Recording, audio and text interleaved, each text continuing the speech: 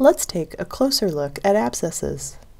Abscesses can appear either anechoic or complex.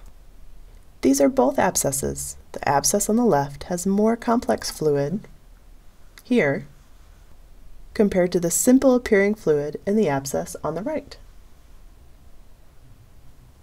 Once you've determined that there is an abscess present, the next step is to get it into the center of your screen, then to get a sense of size.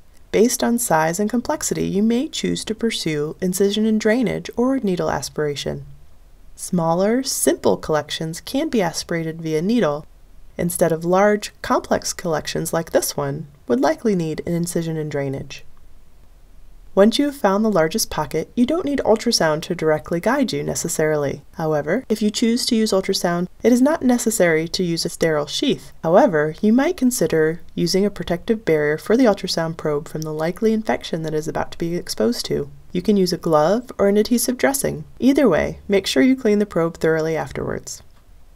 If you're going to use ultrasound to directly guide you, you would hold the probe with your non-dominant hand, using your well-coordinated hand to handle the very sharp instrument you are about to use. You can also measure how deep the abscess runs.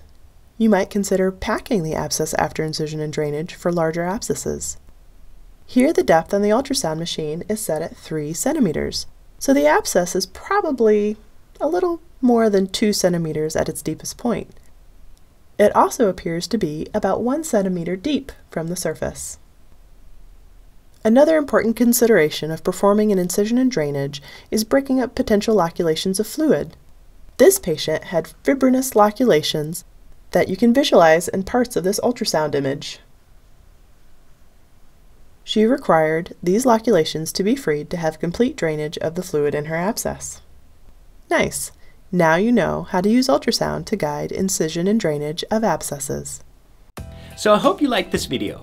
Absolutely make sure to check out the course this video was taken from and to register for a free trial account which will give you access to selected chapters of the course. If you want to learn how MedMastery can help you become a great clinician, make sure to watch the About MedMastery video. So thanks for watching and I hope to see you again soon.